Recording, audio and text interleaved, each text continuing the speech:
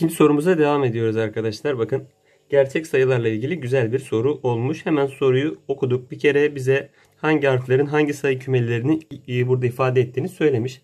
Şekilde eş dilimlere ayrılmış çark iç içe 3 tane parçadan oluşmaktaymış. En dıştaki parça sabit iken orta ve içteki parçalar döndürülebilmekteymiş. Çark üzerinde sayı kümelerini ifade eden harfler yukarıda verildiğine göre tüm dilimlerde o sayı kümelerine ait sayıların olması için hangisi yapılmalıdır? Şimdi bize sorduğu soru şu arkadaşlar. Mesela z neymiş? Tam sayı. Bu çevirme işlemlerini tamamladıktan sonra buradaki iki sayıda tam sayı olduğunda doğru seçeneğe ulaşmış oluyoruz diyor arkadaşlar. Bunu şıkları deneyerek tabii ki de yani yapmak zorundayız arkadaşlar. A şıkkını denediğinizde olmayacağını bir göreceksiniz. Doğru seçeneğimiz B soruda çünkü niye hocam? Yani sen anlatmadan B'yi işaretledin. B'yi anlatacağım zaten tüm şıkları da kavramış olacaksınız. Şimdi ortadaki parça saat yönüne 120 derece diyor arkadaşlar. Bakın ortadaki parça hangisi? Bu dıştaki parça, bu ortadaki parça. Ortadaki parçaya baktığımda 1, 2, 3, 4, 5, 6 tane daire diliminden oluşuyor arkadaşlar. Peki 120 derece döndürülmesi ne anlama geliyor? Bakın arkadaşlar 120 tamamı 360 olduğundan dolayı 1 bölü 3 demektir. Yani bizim bunu 1 bölü 3 tur döndürmemiz lazım. Kaç tane daire dilim vardı? 6 daire dilim vardı. 1 bölü 3'ü 6 daire diliminin 1 bölü 3'ü kaç daire dilimi? 2 daire dilimi. Yani 2 daire dilimi kadar saat yönüne döndürmeniz gerekiyor.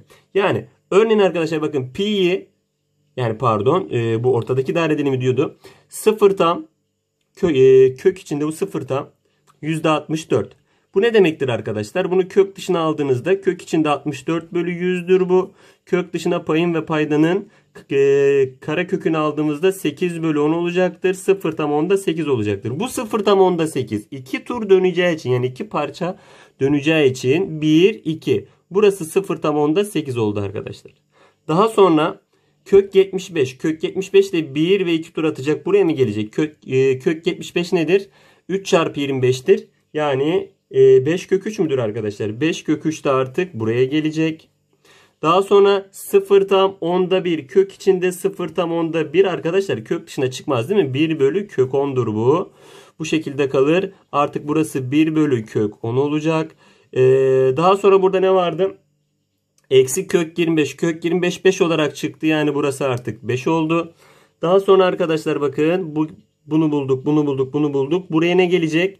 Burada ne vardı? 3 kök 49 vardı. Kök 49 kök dışına 7 olarak çıktı. 3 kere 7 burası 21 oldu. Son olarak kök 108. Kök 108 de arkadaşlar bakın şurada yapalım. Kök 108 de kök içinde 36 çarpı 3'tür. 36 kök dışına 6 olarak çıkar. 6 kök 3 gelecektir buraya.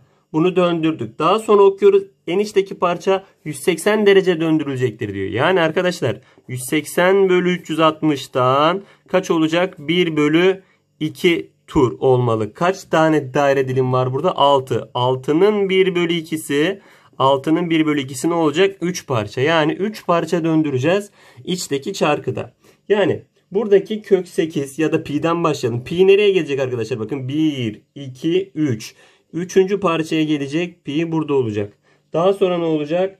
Ee, kök 8 yani burası 2 kök 2 olacak. Daha sonra e, burası 6 olacak arkadaşlar. Buraya kök 0 0 gelecek. Son olarak da buraya 3 bölü 4 gelecektir arkadaşlar diyebiliriz.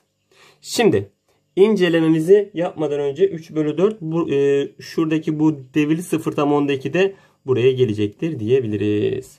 Doğru oldu mu şimdi bir inceleme bakalım. Tam sayılara baktık. 5 ve 6 tam sayı mı? Evet. 0 ve 21 bir doğal sayı mı? Evet. 3 bölü 4 ve 6 kök 3 bir reel sayı mı? Evet. Daha sonra bakın bunlar birer rasyonel sayı. Bu neydi? İrrasyonel sayı, pi rasyonel sayı, 5 kök 3 irrasyonel sayı. Bunlar da yine gerçek sayılar yani arkadaşlar doğru seçeneğimiz gördüğümüz gibi B seçeneği oldu. A şıkkındaki işlemleri tamamladıktan sonra sağlamadığını gördükten sonra B'ye baktığınızda sorunun çözümüne ulaşmış oluyorsunuz. Doğru seçeneğimiz B oldu bu soruda.